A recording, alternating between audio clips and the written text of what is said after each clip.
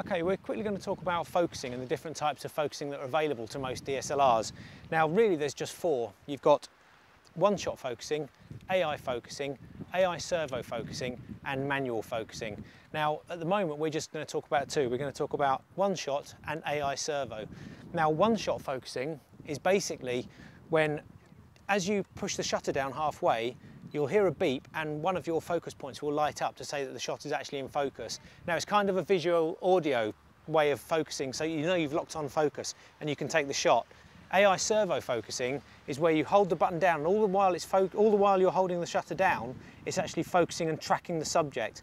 Now I'm just going to take five photos using each method um, in fact, I'm going to take 10. I'm going to take five using the central focusing point on one shot and five using all focus points on one shot.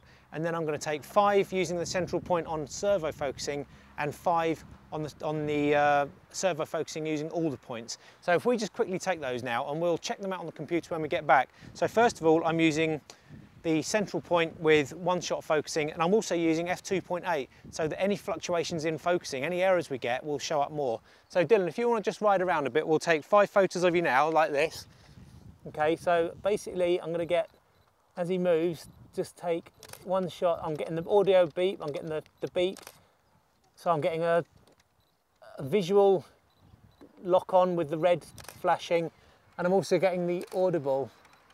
Okay, so that's five doing that. I'm now going to change it to all focus points and see if we get the same kind of results. So now we're on all focus points. Keep coming around then.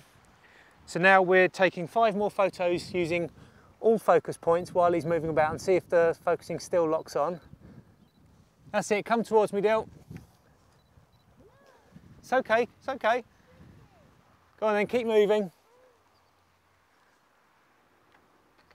Good boy, now go back the other way and we'll get some photo. There we go, as he goes past, we're gonna just see if it still locks on well. Four, and see if it's still locked on, five. Okay, now we're going to switch to servo focusing and hopefully the, the, survey, the, the focusing will track Dylan as he rides around. So we'll put it on just central point. So go around again then. Last time.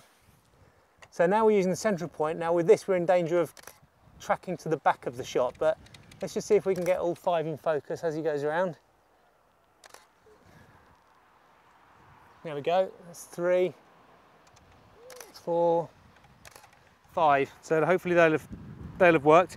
Now if you do one more trip, then we're done. So now I'm going to go onto all five, sorry, onto all nine points of focusing. And as Dylan rides around now, we're basically going to see if all points using AI servo can actually track him while he rides. So there you go. Just ride towards me now, Dylan, straight towards me. If you turn round and ride straight towards me, that's it. Just keep coming. Two, three, four, five. That's great. So hopefully using all of those, we'll have got all the photos in focus using all different methods. But while we're looking at them on the computer, we'll kind of talk about the benefits uh, and the pitfalls of using each one. Right, so let's look through those photos to see what kind of results we got. Now the first set here are all using one shot focusing where you push the shutter down, uh, you get the lock, focus lock and then take the photo. and also we were using the central point here. Now this first photo is actually slightly out of focus. Um, the, the the focus point was at the at the rear of the bike here. So what happened was, as the bike was moving away from me, the camera had focused on Dylan, but in the split second it took for me to get the focus lock and then take the shot, he'd actually moved forward a couple of um, feet or a few few inches. That means that he's slightly out of focus. So that's one of the pitfalls of using central uh, sorry, one-shot focusing when you're use photographing a, a, subject that's moving towards you or away from you. You're going to back focus or forward focus. So we've lost focus on that one.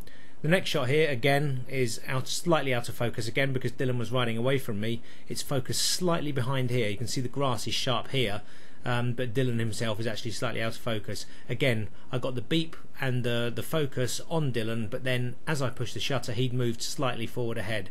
So that's again one of the pit, pitfalls. Now this one, it seemed to work better as he's coming towards me because this one is in focus. Dylan is in focus. Um, it's a nice shot. Um, so again, we're using the one shot, but it seemed to work better coming towards me. And again, that one's also in focus, so it seemed to work better. And the last one as well. So it just seems that the the first two, as Dylan was moving away, the the camera seemed to focus slightly in front or actually behind Dylan, but in front, you know, in between me and Dylan. And then the next three shots were all in focus. So that one kind of seems to have you, you may have a bit of trouble with with uh, using one shot focusing with subjects that are coming towards or or um, away from you. And also remember, we're just using the central point, so it would have been around this area here that the camera would have been focusing on. So let's look at the next one. This is one shot again, but using all all points. Now, there's a slight danger when you're doing this that the camera may focus on the background. It doesn't know what the subject is unless you're actually tracking with him. So there is a slight danger when using all points that it may focus to something else in the image rather than the person you're trying to photograph. But just so happens that because Dylan was actually going from right to left here, he wasn't going uh, backwards or forwards, the camera's actually focused well on him. So this shot is actually focused well on the subject. So happy with that. It managed to track him quite well. But here, as Dylan went away from me, it went badly out of focus. Now, this is what I mean. We were using all points on the camera, and as he rode away, absolutely nothing, um, nothing was in focus. So really poor shot. Same with that one as well. So when you're not tracking a subject, when you're not using AI servo, but just one shot focusing, once you lose focus and you're doing a, a, a series of photographs, and you've lost them for a few. So we did lose a few there. In fact, we lost three. That one's slightly out of focus as well. As well.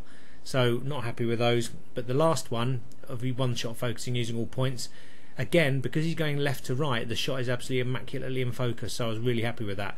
So I think what we've learned from those first ten photos using one shot focusing if a subject is going from left to right, you're fine because you're once you've locked focus in, you can pan with the subject and keep them in focus and get some really good shots. And I found that when I'm photographing windsurfers, kite surfers, that sort of thing, that it works well. But if a subject is coming towards you or away from you, then obviously one shot's not going to work because there's no latitude for error at all. So let's move on to the, the next section. This is using the servo focus, which means that all the time you're holding down the shutter button, um, the the focusing mechanism will actually track the subject.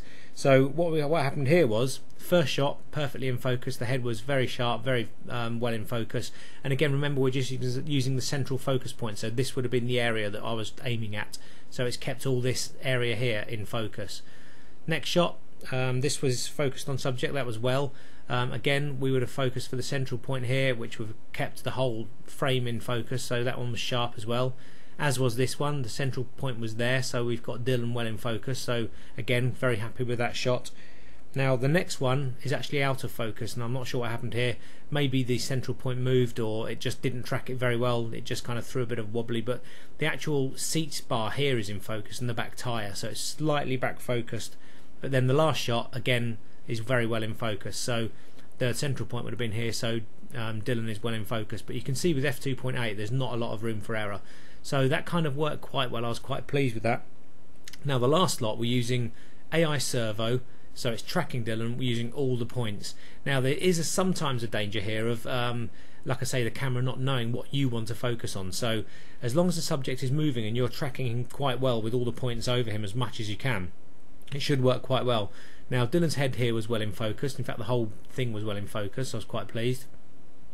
Again, Dylan was coming towards me here, and it tracked him really well because that one was pin sharp, the next one was pin sharp, and the next one was pin sharp. So I was really happy with those ones, and they obviously this one works the best I think for subjects that are coming towards you.